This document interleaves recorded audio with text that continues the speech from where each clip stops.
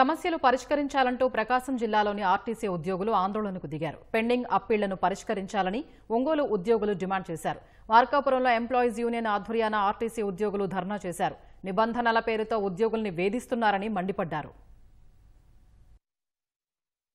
ఆ కేసును గాని పరిష్కారం చేయనటువంటి పరిస్థితి ఉంది. ఉద్యోగుల మీద చర్యలు తీసుకోవడానికి అయితే వెంటనే చర్యలు తీసుకుంటున్నారు గానీ పిల్లలను గాని వాటి సమస్యలను గాని పరిష్కారం చేయడానికి మాత్రం రెండు సంవత్సరాల నుంచి ముందుకు రాలేదు. అనేక డిపోలలో ఇబ్బందులు జరుగుతామని అని చెప్పి మేము ఆయనకి ఎంత మొరపెట్టుకున్నా ఏ ఒక్కదానికి కూడా ముందుకు వచ్చే పరిస్థితి లేకుండా పోయింది. ఏపీఎస్ఆర్టీసీ ఎంప్లాయీస్ అండ్ రీజనల్ కమిటీగా అనేక సార్లు ఆర్ఎం గారి దృష్టికి తీసుకెళ్ళడం జరిగింది. గతంలో ఉన్నటువంటి వరవడికి భిన్నంగా ఆర్టీసీ ఎంప్లాయీస్ను కలిసి పనిచేసి సమస్యల పరిష్కార దిశగా ముందుకడుగు వేస్తామంటే ఉన్నటువంటి చంద్రబాబు గారు దాన్ని వేరే కోణంలో అర్థం చేసుకుని ఏ సమస్యను పరిష్కరించకపోగా సమస్యల్ని జట్లం చేయడం జరిగింది. అదేవిధంగా కాలం చెల్లిన బస్సులు అంటే వాస్తవంగా ఈరోజు ఈ డొక్కు బస్సులతోటి ఈ గుంతల రోడ్లలో ఉద్యోగం చేస్తారంటే డ్రైవర్లు నిజంగా దేవుళ్ళు అనుకోవాలి.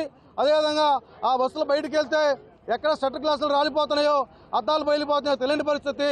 డ్రైవర్ల నుంచి ఇవన్నీ రికవరీ చేస్తున్నారు కాబట్టి కొత్త బస్సులు కూడా తెప్పించాలి. ఐదు డిపోల సమస్యల గురించి మన రీజనల్ మేనేజర్ గారు పరిష్కరించినందువల్ల సమస్యలను మనము రీజనల్ వ్యాప్తంగా గేట్ మీటింగులు ఏర్పాటు చేసుకొని మన సమస్యలను తెలియపరచాలని చెప్పేసి మన రీజనల్ కమిటీ మీటింగ్లో తీర్మానం చేయడం జరిగింది. రీజనల్ వ్యాప్తంగా చాలా మంది ఉద్యోగాలు కోల్పోయి అప్పీల్స్ చేసి ఉన్నారు. వాటిని పరిష్కరించకుండా కాలయాపన చేస్తూ జీవోలు రావాలి సర్కులర్ రావంటా అంటూ ఉన్నారు. కార్యక్రమం చేస్తే గానీ వీళ్ళలో స్పందన రావడం లేదు.